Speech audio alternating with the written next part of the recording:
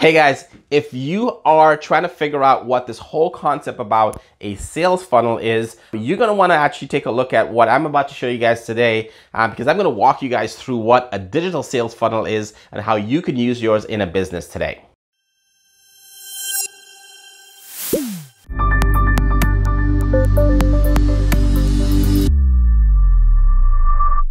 All right, so let's just take a look at the board right over here beside what I've got over here.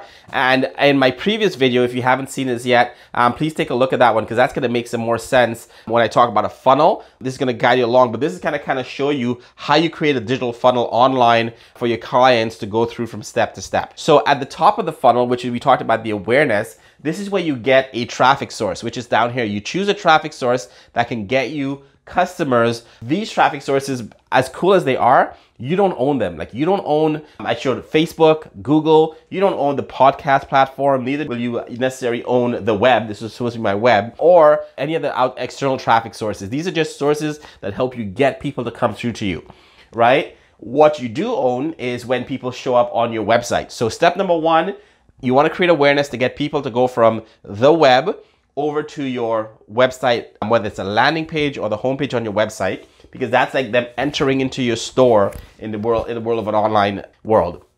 Then, you know, once you get into your store, you're gonna have a certain number of people that are gonna take the next step, which is this is your shopping cart. So some people are gonna come to show intent to buy. Now, where this, the, the genius comes in with using digital marketing is when you know that you have a traffic source, so you understand what these numbers are. You understand that, hey, I need to get 100 people over from an outside source to my website.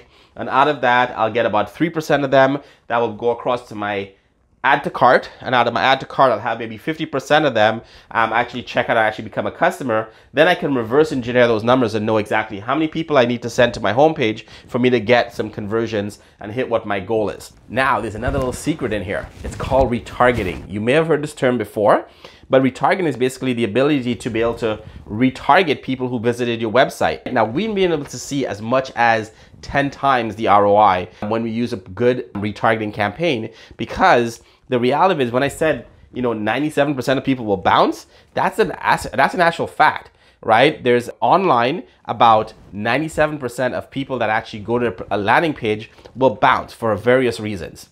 So what we do is we use something called retargeting where we have a tracking on the landing page that we send customers to. And if they come to your page and they bounce off, we're gonna retarget them on Facebook, Instagram, Pinterest, Google, and all the other platforms out there. So we send them back to your website, reminding them, hey, we know you're looking for our product.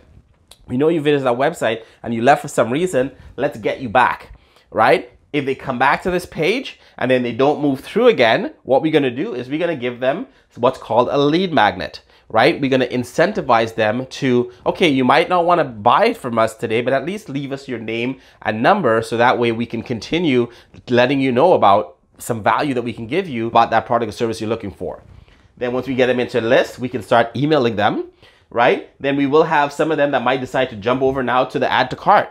When they come to the add to cart page, what we're going to do again, we're going to retarget again right? This time we're gonna start retargeting them with different offers, right? First, we're gonna try and send them back to the add to cart. If they don't, we're gonna give them some kind of a discount, right? Well, actually, we're gonna start with showing them our reviews, why we are great, why they should choose us, because we wanna build that trust.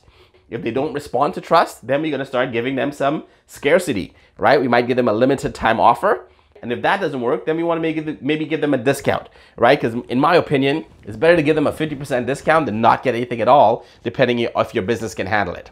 All right, so definitely give them some kind of retargeting option for them to come back to the checkout page. And then last but not least, once you finally get them over to the thank you page, we want to get them on some, some kind of a, a mailing list right? Because once they've purchased from you once, right, it becomes people tend to want to keep buying from you. Just think of how many stores that you go to, you buy once and you keep buying over and over and over, because then it'll be a lot cheaper to get these people to buy from you again by just email marketing them rather than trying to pay for them to come from Google or any of these other platforms. Hopefully this is helpful. If this was helpful to you, don't forget to subscribe to my channel, hit like if you liked it, and don't forget to share it with any of your friends.